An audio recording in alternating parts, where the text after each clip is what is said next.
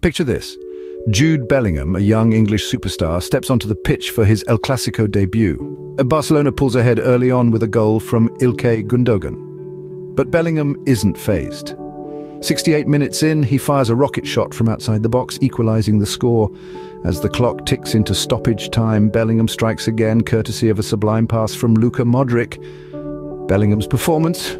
Simply outstanding. He's a menace to the Barcelona defence, showing an uncanny maturity and composure beyond his years. His brace seals a thrilling 2-1 comeback win for Real Madrid, pushing them four points clear of Barcelona at the top of the La Liga table. These goals aren't just a win for Madrid, they're a win for Bellingham, a testament to his immense talent and a sign of the superstar he's set to become. Remember the name Jude Bellingham because this is just the beginning.